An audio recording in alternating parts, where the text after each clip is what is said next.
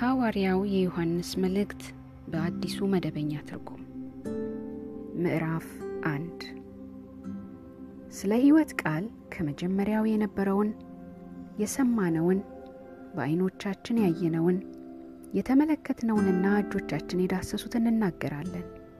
ሕይወት ተገለጠ፣ እኛም አይተነዋል፣ እንመሰክርለታለንም። በአብ ዘንድ የነበረውን ለእኛም የተገለጠልንን የዘላለም ሕይወት እንነግራችኋለን። እናንተም ከእኛ ጋር ኅብረት እንዲኖራችሁ ያየነውንና የሰማነውን እንነግራችኋለን። ኅብረታችንም ከአብ ከልጁም ከኢየሱስ ክርስቶስ ጋር ነው። ደስታችንም ፍጹም ይሆን ዘንድ ይህን እንጽፍላችኋለን። ከእርሱ የሰማነው ለእናንተም የምንነግራችሁ መልእክት እግዚአብሔር ብርሃን ነው፣ ጨለማም በእርሱ ዘንድ ከቶ የለም የሚል ነው።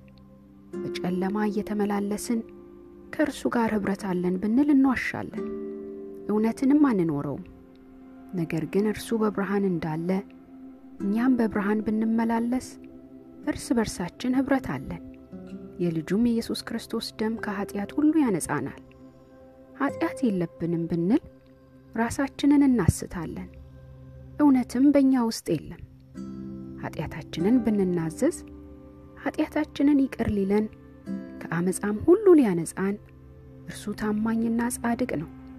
ኀጢአት አልሠራንም ብንል እርሱን ሐሰተኛ እናደርገዋለን፣ ቃሉም በእኛ ውስጥ የለም።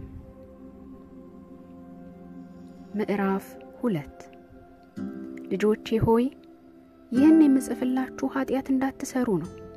ነገር ግን ማንም ኀጢአት ቢሠራ በአብ ዘንድ ጠበቃ አለን፣ እርሱም ጻድቁ ኢየሱስ ክርስቶስ ነው። እርሱም የኀጢአታችን ማስተሰረያ ነው። ይኸውም ለዓለም ሁሉ ኀጢአት እንጂ ለእኛ ብቻ አይደለም። ትእዛዛቱን ብንፈጽም እርሱን ማወቃችንን በዚህ እርግጠኞች እንሆናለን። እርሱን አውቃለሁ እያለ ትእዛዙን የማይፈጽም ግን ሐሰተኛ ነው፣ እውነትም በእርሱ ውስጥ የለም። ነገር ግን ማንም ቃሉን ቢጠብቅ በእውነት የእግዚአብሔር ፍቅር በእርሱ ፍጹም ሆኗል። በእርሱ መሆናችንን የምናውቀው በዚህ ነው። ማንም በእርሱ እኖራለሁ የሚል ኢየሱስ እንደ ተመላለሰ ሊመላለስ ይገባዋል። ወዳጆች ሆይ የምጽፍላችሁ ከመጀመሪያ የነበራችሁን የቆየውን ትእዛዝ እንጂ አዲስ ትእዛዝ አይደለም። የቆየው ትእዛዝ የሰማችሁት ቃል ነው። በሌላ በኩል የምጽፍላችሁ ጨለማው እያለፈና እውነተኛው ብርሃን እየበራ ስለሆነ በእርሱም በእናንተም ዘንድ እውነት የሆነውን አዲስ ትእዛዝ ነው። በብርሃን አለሁ የሚል ወንድሙን ግን የሚጠላ አሁንም በጨለማ ውስጥ አለ። ወንድሙን የሚወድ በብርሃን ይኖራል፣ በእርሱም ዘንድ የመሰናከያ ምክንያት የለውም። ነገር ግን ወንድሙን የሚጠላ በጨለማ ውስጥ ነው፣ በጨለማ ይመላለሳል፣ ጨለማው ስላሳወረው የት እንደሚሄድ አያውቅም። ልጆቼ ሆይ ኀጢአታችሁ ስለ ስሙ ተሰርዮላችኋልና ጽፍላችኋለሁ። አባቶች ሆይ ከመጀመሪያ ያለውን እርሱን አውቃችሁታልና እጽፍላችኋለሁ። ጎበዛዝት ሆይ ክፉን አሸንፋችኋልና እጽፍላችኋለሁ።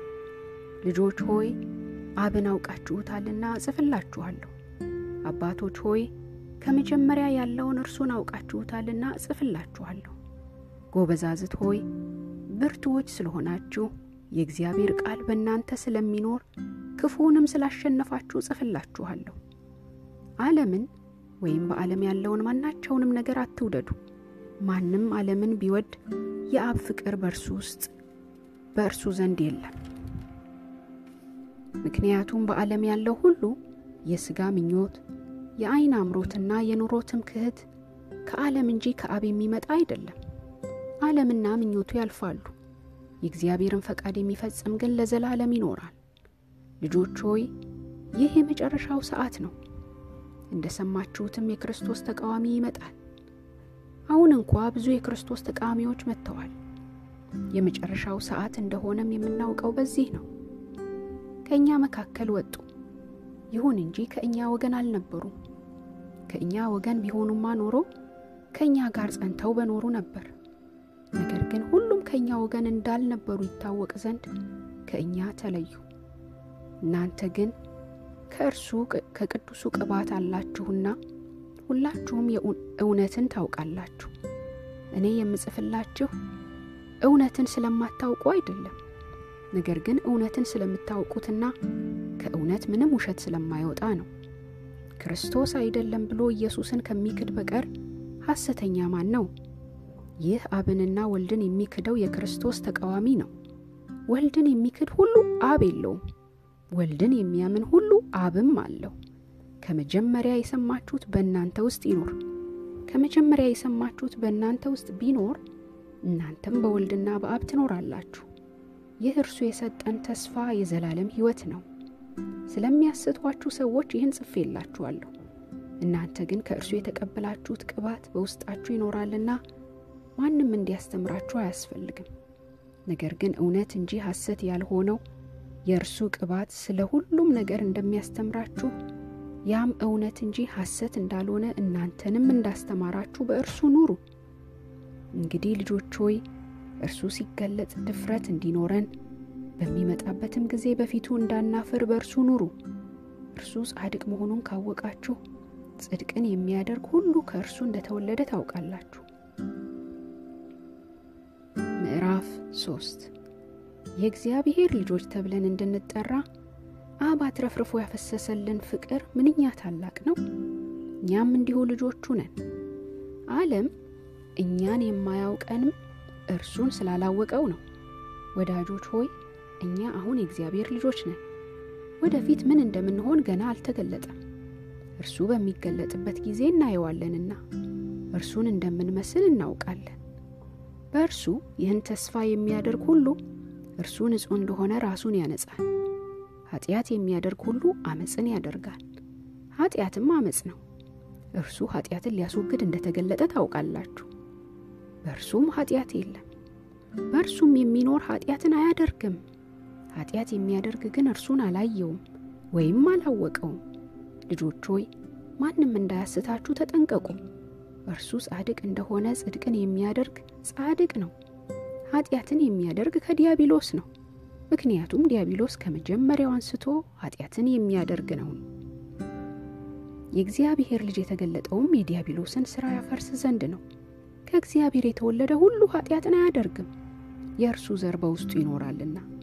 ከእግዚአብሔር ስለተወለደም ኃጢአትን ሊያደርግ አይችልም። የእግዚአብሔር ልጆችና የዲያብሎስ ልጆች ተለይተው የሚታወቁት በዚህ ነው። ጽድቅን የማያደርግ ወንድሙን የማይወድ ሁሉ ከእግዚአብሔር አይደለም።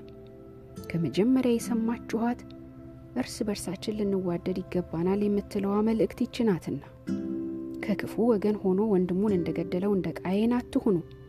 ለምን ገደለው? ምክንያቱም የእርሱ ሥራ ክፉ፣ የወንድሙ ግን ጽድቅ ስለነበረ ነው። ወንድሞች ሆይ ዓለም ቢጠላችሁ አትደነቁ። ወንድሞቻችንን ስለምንወድ ከሞት ወደ ሕይወት እንደተሻገርን እናውቃለን። ፍቅር የሌለው ሁሉ በሞት ይኖራል። ወንድሙን የሚጠላ ነፍሰ ገዳይ ነው፣ ነፍሰ ገዳይም የዘላለም ሕይወት እንደሌለው ታውቃላችሁ። ኢየሱስ ክርስቶስ ሕይወቱን ስለ እኛ አሳልፎ ስለሰጠ ፍቅር ምን እንደሆነ በዚህ እናውቃለን። እኛም ሕይወታችንን ስለ ወንድሞቻችን አሳልፈን ልንሰጥ ይገባናል። ማንም ሀብት እያለው ወንድሙ ሲቸገር አይቶ ባይራራለት የእግዚአብሔር ፍቅር እንዴት በእርሱ ይኖራል? ልጆች ሆይ በተግባርና በእውነት እንጂ በቃልና በአንደበት ብቻ አንዋደድ። እኛ የእውነት ወገን መሆናችንን በዚህ እናውቃለን፣ ልባችንንም በፊቱ እናሳርፋለን። ይህም ልባችን በእኛ ላይ በሚፈርድብን ነገር ሁሉ ነው። እግዚአብሔር ከልባችን ይልቅ ታላቅ ነውና ሁሉን ነገር ያውቃል። ወዳጆች ሆይ ልባችን የማይፈርድብን ከሆነ በእግዚአብሔር ፊት ድፍረት አለን። ትእዛዛቱንም ስለምንጠብቅና በፊቱም ደስ የሚያሰኘውን ስለምናደርግ የምንለምነውን ሁሉ ከእርሱ እንቀበላለን። ትእዛዙም በልጁ በኢየሱስ ክርስቶስ እንድናምንና እርሱ እንዳዘዘንም እርስ በርሳችን እንድንዋደድ ነው። ትእዛዞቹንም የሚጠብቁ ሁሉ በእርሱ ይኖራሉ፣ እርሱም በእነርሱ ይኖራል። በእኛ መኖሩን በዚህ ይኸውም እርሱ በሰጠን በመንፈስ እናውቃለን። ምዕራፍ አራት ወዳጆች ሆይ መንፈስን ሁሉ አትመኑ፣ ነገር ግን መናፍስት ከእግዚአብሔር መሆናቸውን መርምሩ።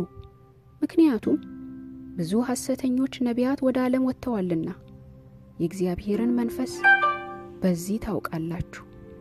ኢየሱስ ክርስቶስ በሥጋ እንደመጣ የሚቀበል መንፈስ ሁሉ ከእግዚአብሔር ነው። ኢየሱስን የማይቀበል መንፈስ ግን ከእግዚአብሔር አይደለም። እንደሚመጣ የሰማችሁት የክርስቶስ ተቃዋሚ መንፈስ ይህ ነው፣ አሁንም እንኳ በዓለም አለ። ልጆች ሆይ እናንተ ከእግዚአብሔር ናችሁ፣ እነርሱንም አሸንፋችኋቸዋል። ምክንያቱም በእናንተ ውስጥ ያለው በዓለም ካለው ይበልጣል። እነርሱም ከዓለም ናቸው፣ ስለዚህ የሚናገሩት እንደ ዓለም ነው፣ ዓለምም ይሰማቸዋል። እኛ ከእግዚአብሔር ነን፣ እግዚአብሔርን የሚያውቅ ይሰማናል፣ ከእግዚአብሔር ያልሆነ ግን አይሰማንም። በዚህም የእውነትን መንፈስና የሐሰትን መንፈስ እናውቃለን። ወዳጆች ሆይ ፍቅር ከእግዚአብሔር ስለሆነ እርስ በርሳችን እንዋደድ። የሚወድ ሁሉ ከእግዚአብሔር የተወለደ ነው፣ እግዚአብሔርንም ያውቃል። የማይወድ ግን እግዚአብሔርን አያውቅም፣ እግዚአብሔር ፍቅር ነውና። እግዚአብሔር ፍቅሩን በመካከላችን የገለጠው እንዲህ ነው፣ እኛ በእርሱ አማካኝነት በሕይወት እንኖር ዘንድ እግዚአብሔር አንድያ ልጁን ወደ ዓለም ላከ። ፍቅር ይህ ነው፣ እኛ እግዚአብሔርን እንደወደድነው ሳይሆን እርሱ እንደወደደንና ስለ ኃጢአታችንም ማስተሰሪያ ይሆን ዘንድ ልጁን መላኩ ነው። ወዳጆች ሆይ እግዚአብሔር እንዲህ ከወደደን እኛም እርስ በርሳችን መዋደድ ይገባናል። እግዚአብሔርን ያየ ከቶ ማንም የለም። እርስ በርሳችን ብንዋደድ ግን እግዚአብሔር በእኛ ይኖራል፣ ፍቅሩም በእኛ ፍጹም ይሆናል። መንፈሱን ስለሰጠን እኛ በእርሱ እንደምንኖር እርሱም በእኛ እንደሚኖር እናውቃለን። አብ ልጁን የዓለም አዳኝ ይሆን ዘንድ እንደላከው አይተናል እንመሰክራለንም። ኢየሱስ የእግዚአብሔር ልጅ እንደሆነ አምኖ በሚመሰክር ሁሉ እግዚአብሔር በእርሱ ይኖራል፣ እርሱም በእግዚአብሔር ይኖራል። ስለዚህም እግዚአብሔር ለእኛ ያለውን ፍቅር እናውቃለን፣ በፍቅሩም እናምናለን። እግዚአብሔር ፍቅር ነው። በፍቅር የሚኖር በእግዚአብሔር ይኖራል፣ እግዚአብሔርም በእርሱ ይኖራል። በዚህም ዓለም እርሱን በዚህም ዓለም እርሱን እንመስላለንና በፍርድ ቀን ድፍረት ይኖረን ዘንድ ፍቅር በዚህ አይነት በመካከላችን ፍጹም ሆኗል። በፍቅር ፍርሃት የለም፣ ፍጹም ፍቅር ግን ፍርሃትን አውጥቶ ይጥላል። ፍርሃት ከቅጣት ጋር የተያያዘ ነውና የሚፈራም ሰው ፍቅሩ ፍጹም አይደለም። እርሱ አስቀድሞ ወዶናልና እኛ እንወደዋለን። ማንም እግዚአብሔርን ወዳለሁ እያለ ወንድሙን ቢጠላ እርሱ ሐሰተኛ ነው። ያየውን ወንድሙን የማይወድ ያላየውን እግዚአብሔርን መውደድ አይችልምና እርሱም እግዚአብሔርን የሚወድ ሁሉ ወንድሙን መውደድ ይገባዋል የሚለውን ይህን ትእዛዝ ሰጥቶናል። ምዕራፍ አምስት ኢየሱስ እርሱ ክርስቶስ እንደሆነ የሚያምን ሁሉ ከእግዚአብሔር ተወልዷል። አባትንም የሚወድ ሁሉ ልጁንም እንደዚሁ ይወዳል። እግዚአብሔርን ስንወድና ትእዛዛቱን ስንፈጽም የእግዚአብሔርን ልጆች እንደምንወድ በዚህ እናውቃለን። እግዚአብሔርን መውደድ ትእዛዛቱንም መፈጸም ነውና። ትእዛዛቱም ከባድ አይደሉም፣ ምክንያቱም ከእግዚአብሔር የተወለደ ሁሉ ዓለምን ያሸንፋል። ዓለምን የሚያሸንፈውም እምነታችን ነው። ኢየሱስ የእግዚአብሔር ልጅ እንደሆነ ከሚያምን በስተቀር ዓለምን የሚያሸንፍ ማን ነው? በውሃና በደም የመጣው ይህ ኢየሱስ ክርስቶስ ነው። እርሱ በውሃና በደም እንጂ በውሃ ብቻ አልመጣም። የሚመሰክረውም መንፈስ ነው፣ መንፈስ እውነት ነውና። ስለዚህ ሦስት ምስክሮች አሉት። እነርሱም መንፈሱ፣ ውሃውና ደሙ ናቸው። ሦስቱም ይስማማሉ። የሰውን ምስክርነት ከተቀበልን የእግዚአብሔር ምስክርነት ከዚያም ይልቃል።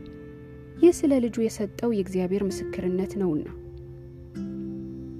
በእግዚአብሔር ልጅ የሚያምን ሁሉ በልቡ ምስክር አለው።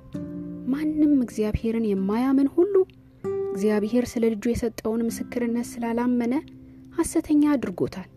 ምስክርነቱም ይህ ነው፣ እግዚአብሔር የዘላለምን ሕይወት ሰጠን። ይህም ሕይወት ያለው በልጁ ነው። ልጁ ያለው ሕይወት አለው። የእግዚአብሔር ልጅ የሌለው ሕይወት የለውም። በእግዚአብሔር ልጅ ስም የምታምኑ እናንተ የዘላለም ሕይወት እንዳላችሁ ታውቁ ዘንድ ይህን እጽፍላችኋለሁ። በእግዚአብሔር ፊት ለመቅረብ ያለን ድፍረት ይህ ነው። ማንኛውንም ነገር እንደ ፈቃዱ ብንለምን እርሱ ይሰማናል። የምንለምነውንም ሁሉ እንደሚሰማን ካወቅን የለመነውን ነገር እንደተቀበልን እናውቃለን። ማንም ሰው ወንድሙ ለሞት የማያበቃ ኃጢአት ሲያደርግ ቢያየው ይጸልይ፣ እግዚአብሔርም ለሞት የማያበቃ ኃጢአት ላደረጉት ሕይወትን ይሰጣል። ለሞት የማያበቃም ኃጢአት አለ። ስለዚህኛው ግን ለሞት የሚያበቃም ኃጢአት አለ። ስለዚህኛው ግን ይጸልይ አልልም። አመፅ ሁሉ ኃጢአት ነው። ለሞት የማያበቃም ኃጢአት አለ። ከእግዚአብሔር የተወለደ ሁሉ ኃጢአት እንደማያደርግ ነገር ግን የእግዚአብሔር ልጅ እንደሚጠብቀው ከክፉ ክፉም እንደማይነካው እናውቃለን። እኛ ከእግዚአብሔር እንደሆንን መላው ዓለምን በክፉ ስር እንደሆነ እናውቃለን። የእግዚአብሔር ልጅ እንደመጣ እውነተኛ የሆነውን እርሱን እንድናውቅ ማስተዋልን እንደሰጠን እናውቃለን። እኛም እውነተኛ በሆነው በልጁ በኢየሱስ ክርስቶስ አለን።